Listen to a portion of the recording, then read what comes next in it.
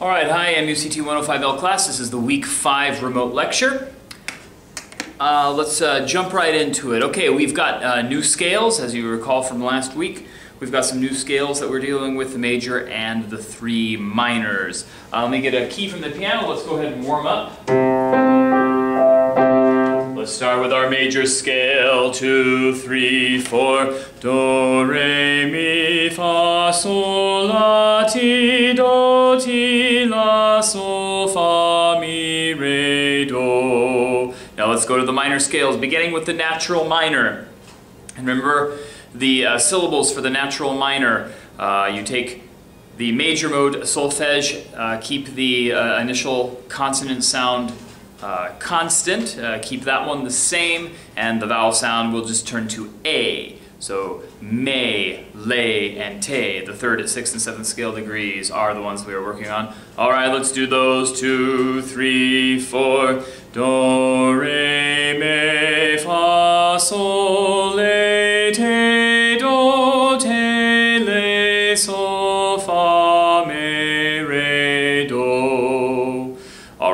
we'll do the harmonic minor. Remember, the harmonic minor is like the natural minor, except the seventh scale degree is raised like in major. Remember, that gives us that very large augmented second interval. Let's sing it. Ready, go. Do, re, mi, fa, sol, la, ti, do, ti, le, sol, fa, mi, re, do. Okay, and then when we go along to the melodic minor mode, which has a different form ascending than it does descending. Remember, ascending, it has la and ti like in major, and descending it has te and le like in natural minor. Let's sing it. Ready, go. Do, re, mi, fa, sol, la, ti, do, te, le, sol, fa, mi, re, do. All right. Um, open up your Berkowitz book to page 12. We're going to do a couple of examples uh, further um, from where we stopped last Friday. Uh, page 12, number 39. Okay?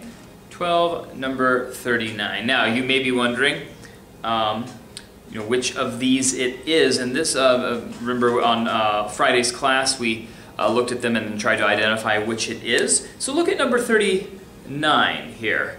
Um, if you scan it, you'll see, oh look, B natural. Um, so you might think it is harmonic minor mode. But if you look um, in the third complete measure, if you look at the third measure there, you'll see a B flat. So if you run into a B flat and a B natural, you're uh, dealing with melodic minor mode. Remember, the melodic minor mode has one form of the of uh, one form of the scale ascending and the other descending. You may wonder it doesn't really look ascending and descending. Don't worry about it. We'll talk about that um, in Friday's class about exactly how um, what is considered ascending, what is considered descending. It's, it's not actually um, always so cut and dry. But let's go ahead and sing this one. Do. It's in cut time, but we'll do it in four, two, three, four. Do, re, mi, fa, sol,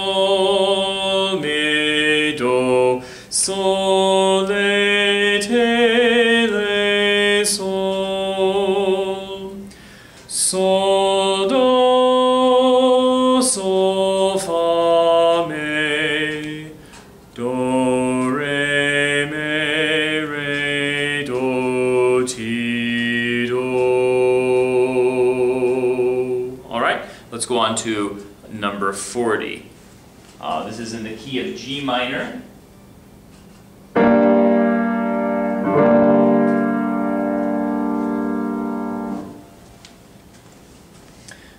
All right, and this is actually a really good example of, a of, uh, of melodic minor mode. So you see the first two measures, do, te, le, sol. So we're moving from do back down to sol. We're descending away from do and we have the lowered scale degrees, just like in natural minor. In the third measure, sol, la, ti, do, we're stepping up to do, and we have the ascending uh, portions. This is a good classic example. So let's go ahead and sing this together. One, two, and three. Sol, do, te, le, sol, do, te, le, sol, sol, la,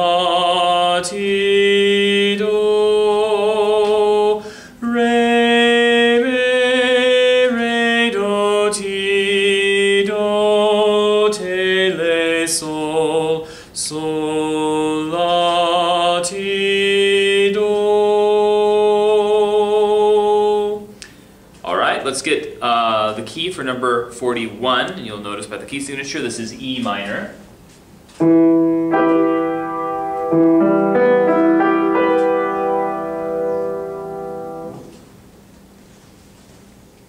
Right. And if you analyze it as we descend down almost through the entire scale, we don't quit, we don't get quite all the way down to do. We get to re. Um, straight down, that is the descending portion of the melodic minor scale. And as we ascend uh, back up to do again, the arc, uh, kind of a reverse, reverse arch form, um, we use la and ti. All right, let's go ahead and sing this one. Do, you might want to be this high, or do if you've got really low notes. One, two, and three, and four. Do, te,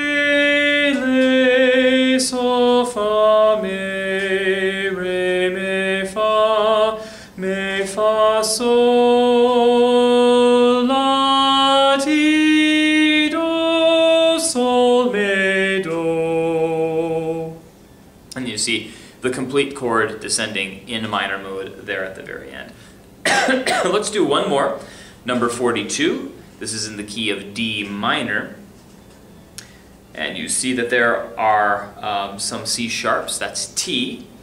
Okay, but remember uh, our discussion in class on Friday, uh, the presence of the seventh scale degree, a raised seventh scale degree, is not necessarily a, uh, a, a hard and fast indicator of uh, one scale or the other. What you want to do to make sure is to find out what is the sixth scale degree doing. So we see uh, the seventh scale degree is up, and look at the sixth scale degree, which is B flat or B, and we see that there are B flats there, so we are dealing with harmonic minor mode.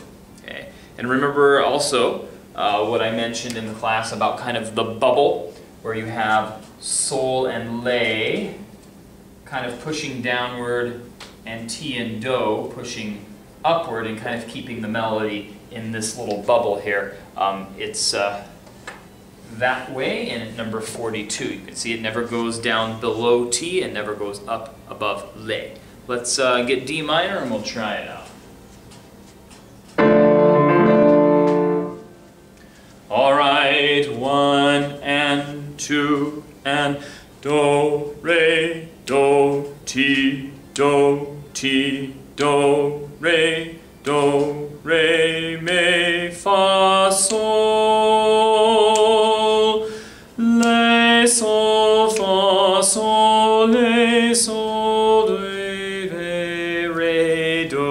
ti, do. All right, I apologize for messing that up. You probably, I don't know if you can hear it on the on the camera or not, but Chemo Smith is uh, uh, playing the organ, is practicing the organ in the hall next to uh, uh next to me here, and uh, boy, he was in another key uh, altogether, and I lost my place. Don't worry about it. Um, you can always pull the slider back and make sure that you don't make any mistakes. Um, I make mistakes all the time, of course. All right, let's explain a new concept. This is related to rhythm. We're not going to do anything in the Kazez book right now, but we are going to introduce a bit of a rhythmic concept. Okay, so far we've been using simple meter. We've been using uh, simple meter, and simple meter is called such because the unit of the beat, whatever uh, happens to be in the case of 4-4 time, the beat is the quarter note.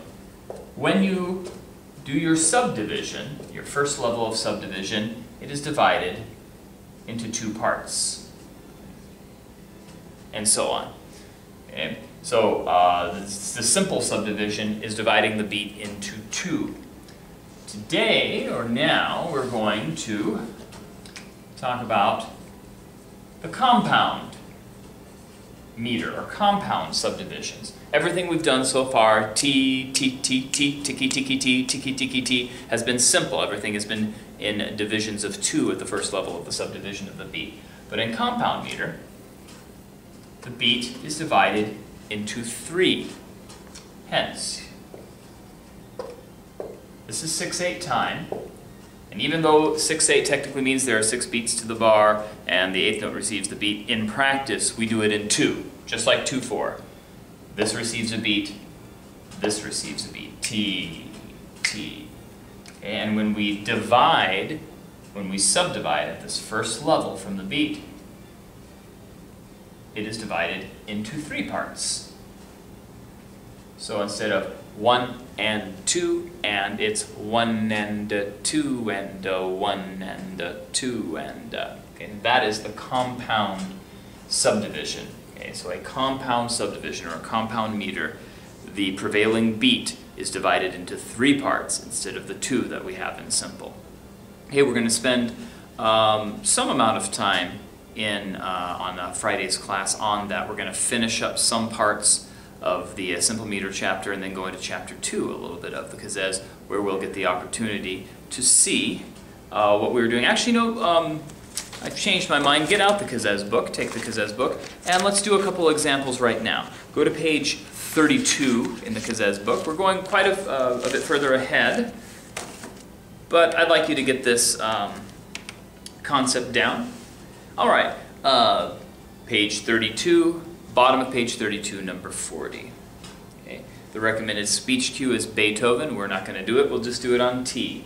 All right, number 40, I'll give you two subdivided measures and we'll come into it together. One, two, one and a two and a T, T, T, T, T, T, T, T, T. T, T, T, T, T, T, T. Let's do one more. Over on page 33, number 41. Uh, heretofore we were doing 6-8 time. Now we're doing 12-8 time. Okay, 12-8 time, at least how we typically do it, is four beats each compound, one and a two and a three and a four and a, let's try number 41. I'll give you one subdivided measure and we'll go ahead and do this one. One and a two and a three and a four and a T, T, T, T, T, T, T, T, T, T, T, T, T.